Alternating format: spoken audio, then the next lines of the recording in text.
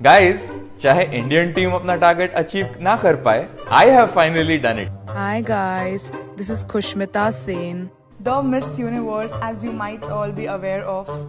हाल ही में आप सबको पता चला है कि मैं Shalit Modi ji oh sorry sorry Shalit Modi को डेट कर